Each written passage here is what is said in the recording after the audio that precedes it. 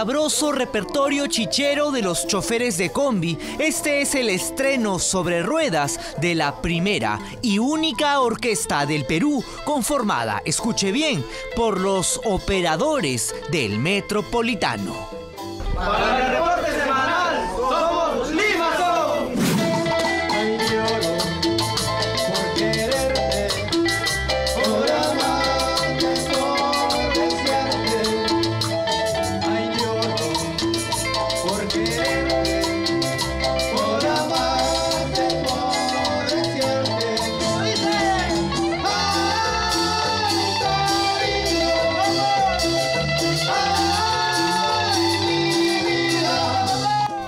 No, no es un disfraz, es su uniforme de trabajo.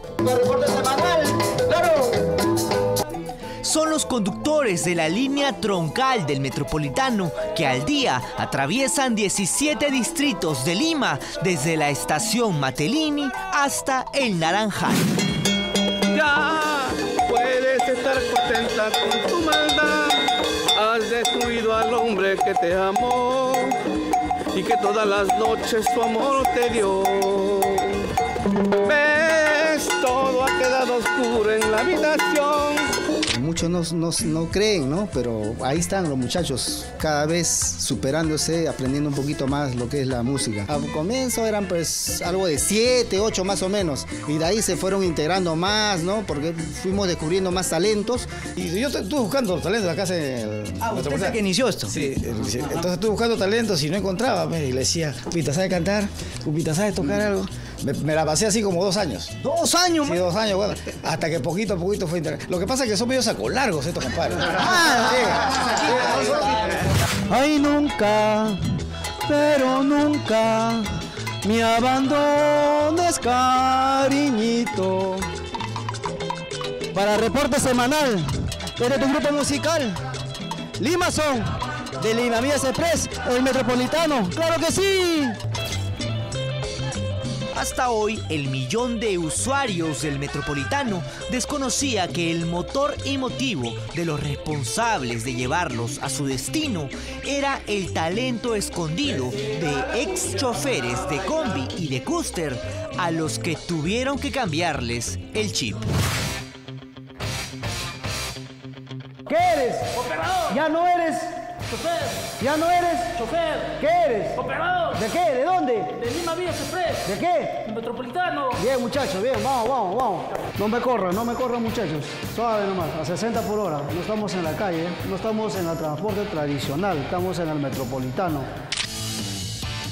Hombres que tenían hasta 30 kilos de sobrepeso y que al dejar la informalidad de las combis y sus cuatro horas de sueño al día, también formalizaron al amor de su vida.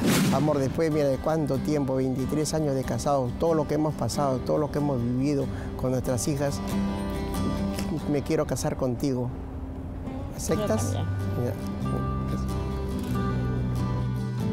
Sí, se casaron ante la seguridad y confianza que un metropolitano ofrece como testigo. ¿Ustedes me quieren decir que han llegado a su boda en Metropolitano? Sí, sí, sí hemos llegado en Metropolitano. Esa ruta no existe, pero el Metropolitano llegó con nosotros hasta el Parque de las Aguas. Señora, usted estaba así con su vestido hermosa, pero bajando el Metropolitano. ¿Quién iba a creerlo? Sí, no creía yo, pero bajé del Metropolitano. Fue la estación nupcial, tantas veces postergada, de 21 operadores del Metropolitano.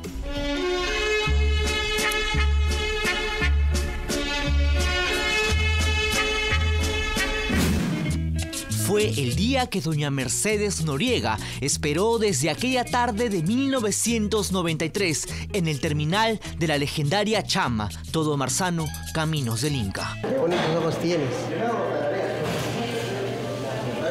Fue un amor a primera vista. Ah, cuénteme cómo fue eso. Ah, es, según que trabajaba antiguamente en, el, en, una empresa de transportes, la conocí a ella. Su mamá era la que nos daba, este, vendía, vendía este, pensión daba y ahí la conocí a ella. Y...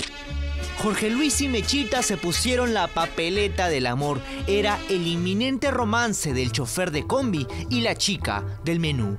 Hoy, 23 años después, dos hijas y un nieto fueron los abuelitos más felices en el matrimonio civil masivo del metropolitano. Ahora tenemos más tiempo de estar reunidos con mis hijas, la bebé, pasamos más juntos. Tenía que trabajar todos los días, de lunes a domingo. Ahora ya no, ahora trabajo de lunes a, sábado y domingo descanso. La formalización va también con el formalizar su, su, su, familia, darles una estabilidad emocional a la esposa, a los hijos y que si algo les pasara a ellos, pues no las desamparen en una situación de informalidad que sería la, la convivencia. Ni siquiera los cantantes de bodas se salvaron. Cuatro integrantes de Lima Son también dieron el sí a las madres de sus hijos.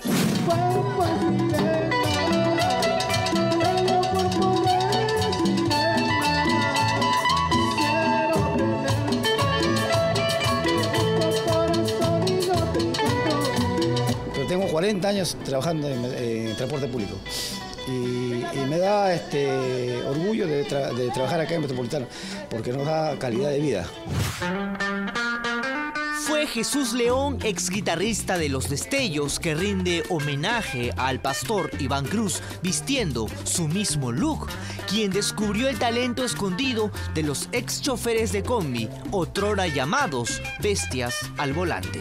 Él necesitaba de esa guitarra y yo gustosamente se, se lo regalé, ¿no? Para que él practicara y haga un repertorio, pues lo que nosotros hacemos, ¿no? Y ahora eh, ha dado frutos, porque ahora él tiene un gran, gran repertorio, lo que es la cumbia, toca música criolla, de todo. Personal que se porta mal en el grupo, se lo separa, se lo congela.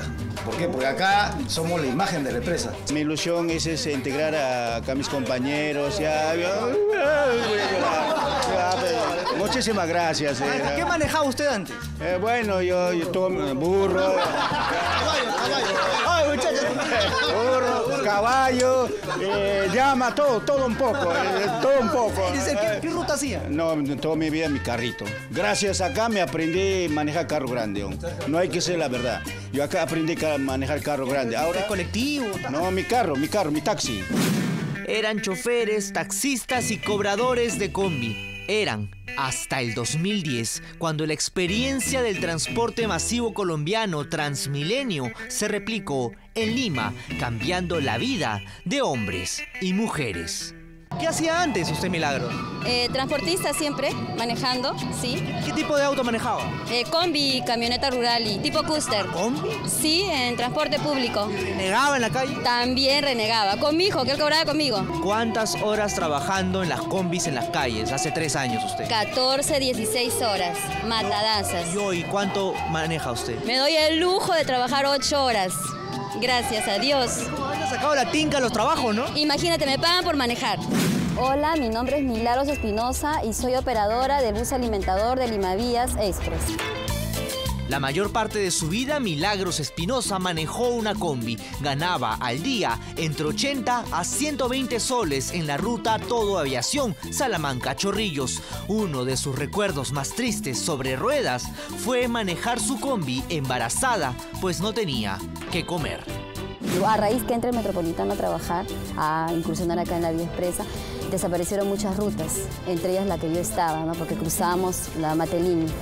Nos quedamos sin trabajo, sin tarjeta de circulación y ahí me puse a llorar. Y mira, y sin saber que gracias al Metropolitano yo iba a estar acá. Ella es la reina de Limavías.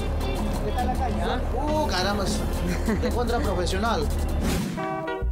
Como milagro, Cintia Soldevilla, antes llamada la rompespejos o la viquina, cambió la combi, su herencia familiar, por un sueño que como chofer parecía lejano, ser profesora de matemáticas. Se gana bien, pero el que quiere ahorrar, el que quiere tener algo en la vida, no, nunca lo va a tener si sigue ahí.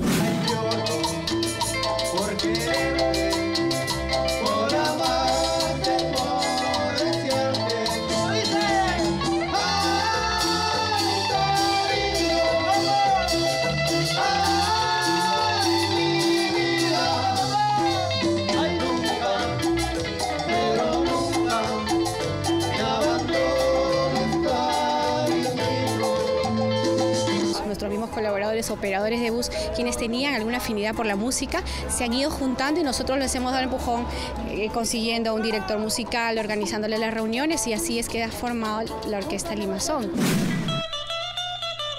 Cuando los conocimos en el patio sur del Metropolitano, estaban en pleno concurso de danzas típicas. Era la inversión humana que el mismísimo expresidente de los Estados Unidos, Bill Clinton, reconoció en su reciente visita al Perú. Y vino Bill Clinton, te comento, fue por, justamente para ver el trabajo que, hacemos nosotros. Hacemos todo un trabajo de cuidado del medio ambiente. Tenemos huertos de hidroponía en los cuales les enseñamos a nuestros colaboradores y sus familias a, a desarrollar el tema de la hidroponía, que es el tema de la alimentación sana.